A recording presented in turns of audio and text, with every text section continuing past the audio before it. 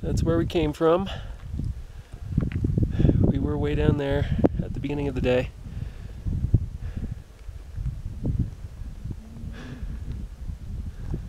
Those people up on the ridge line, that's a Machame route, which is going up, up along the ridge. And eventually, we are going to come and meet it. And here's Samuel, pole pole.